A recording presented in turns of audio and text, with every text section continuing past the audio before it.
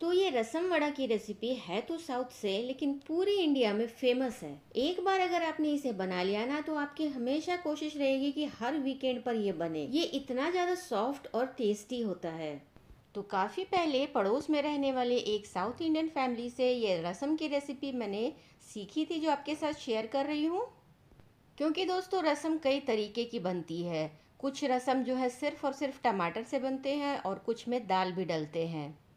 तो वीडियो को step by step देखते जाइए, स्किप बिल्कुल भी मत करिएगा।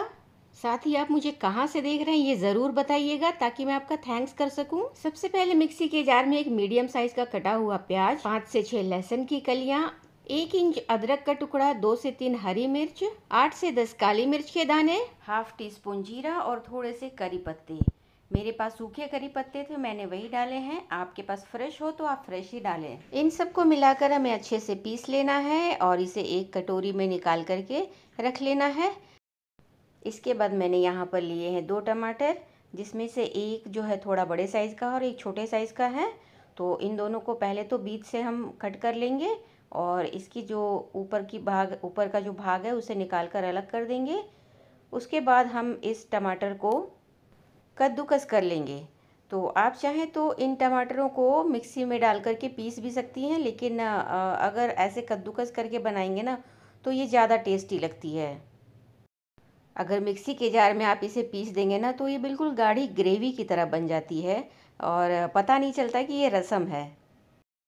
तो यहाँ पर ये देखिए, टमाटर मैंने ग्रेट कर लिया है। अब मैं इसमें डाल रही हूँ दो से तीन छोटे साइज़ के मैंने इमली जो है भिगा कर रखा था। उसे थोड़े से पानी में डाल करके मैंने मैश कर लिया और छान करके इस टमाटर वाली जो प्यूरी मैंने बनाई है ना, इसमें डाल दिया है। चलिए अब हम आगे का प्रोसेस करते हैं। यहाँ पर कढ़ाई में मैंने थोड़ा सा ऑयल डाल दिया है। हल्का गर्म होने पर मैंने यहाँ पर राई डाल दी है थोड़ी सी और थोड़ी सी ही मैंने डाली है हींग। तो जैसे ही हमारा राई जो है वो चटकने लग जाए ना तो इसमें फिर मैंने डाल दिया है सात से आठ करी पत्ते, वही सूखे वाले करी पत्ते हैं मेरे पास। जैसा कि मैंने पहले भी आपको बताया, आपके पास फ्रेश हो तो आप फ्रेश ही डालिए। एक सूखी लाल मिर्च मैंने यहाँ पर काट के डाल दिया है। आप तीखा जो है, अपने पसंद के अनुसार कम ज़्यादा डाल सकते हैं, क्योंकि जो मैंने मसाले पीसे हैं, उसमें भी हरी मिर्च डाला है तो इसलिए मैंने इसमें कम ही डाला है। इन सबको मिलाकर पहले फ्राई कर लेना है, उसके बाद ऊपर से जो हमने मसाले पीस कर रखे थे, उसे डाल देना है। डालने के बाद मध्यम आँच पर इसे जो है हमें एक से डेढ़ मिनट तक फ्राई कर लेना है। क्योंकि हमने इसमें प्याज भी डाला है, लहसुन भी डाला है तो उसका कच्चापन निकल जाना चाहिए। तो ये देखिए हमारे मसाले जो है अच्छे से फ्राई हो चुके हैं। अब इस समय हम इसमें डाल देंगे हमने जो टमाटर और इमली का जो पल्प मिला करके रखा था ना छान कर उसे। इसके डालने के बाद हम इसमें थोड़ा सा और पानी भी डाल देंगे और डाल करके थोड़ा सा चला लेंगे। साइड में जो भी हमारे मसाले हैं उसे बीच में कर लेंगे। इसके बाद कुछ सूखे मसाले, हल्दी पाउडर, लाल मिर्च पाउडर। तो यहाँ पर थोड़ा सा तीखा लाल मिर्च पाउडर और थोड़ी सी कश्मीरी लाल मिर्च पाउडर मैंने दोनों ही डाला है और थोड़ा सा धनिया पाउडर भी इसमें डाला है। डालकर चला लेना है हमें अच्छे से।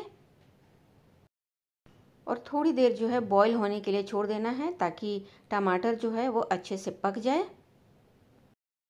जब अच्छे से इसमें बॉईल आने लग जाए, तब हम इसमें डाल देंगे सांभर मसाला। थोड़ी देर चलाते हुए इसे और पका लेंगे।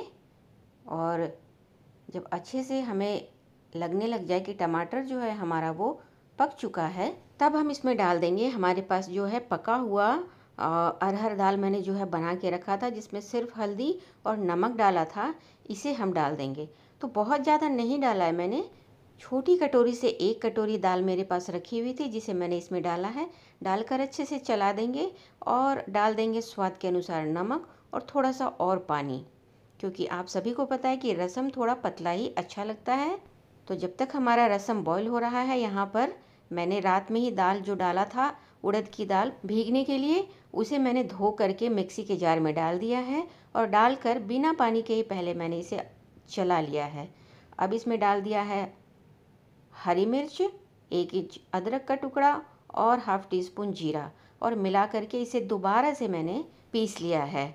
ध्यान दीजिएगा दोस्तों, मैंने इसमें पानी बिल्कुल भी नहीं डाला है। अब इसे एक बाउल में निकाल करके उसमें डाल दिया है मैंने स्वाद के अनुसार नमक और इसे अच्छे से फेंट लिया है। इतना फेंटा है कि ये पानी के ऊपर आ जाए। जब इसके पकौड़े हम पानी में डालें तो पानी के ऊपर आ जाइए। तो ये देखिए हमारा रसम भी रेडी हो चुका है। ऊपर से मैंने डाल दिया है हरी धनिया। बहुत ही अच्छी खुशबू आ रही है। तो इसे अब हम रखेंगे साइड में और अपने पकौड़े तलने की तैयारी कर लेते हैं। मीडियम हॉट ऑयल में एक एक करके हम पकौड़े डाल देंगे। तो ये जो वड़ा है, आप इसे अपनी मर्ज़ी से जैसा भी चाहे ना वैसा बना सकते हैं। मतलब जैसे मैंने पकौड़े की साइज़ की बनाई है, आप बड़े साइज़ के भी बना सकते हैं, या वड़े जो नॉर्मली बनाते हैं ना, आप उस तरीके से भी बना सकते हैं। तो यहाँ पर मध्यम आँच पे ये मैंने देखिए, क्रिस्प होने तक इसे जो है तल लिया है, और अब मैं सारा निकाल लूँगी, और निकालने के बाद ये सीधा जाएगा हमारे रसम के ऊपर। तो जैसे ही हम इसे डालेंगे ना, ये रसम को पूरा अच्छे से एब्ज़ॉर्ब कर लेगा एकदम सॉफ्ट तो हो ही जाता है दोस्तों। खाने में बहुत टेस्टी मतलब एक प्रॉपर मील की तरह हो जाता है ये। तो आप भी मेरे तरीके से एक बार रसम वड़ा की रेसिपी ज़रूर बनाइए।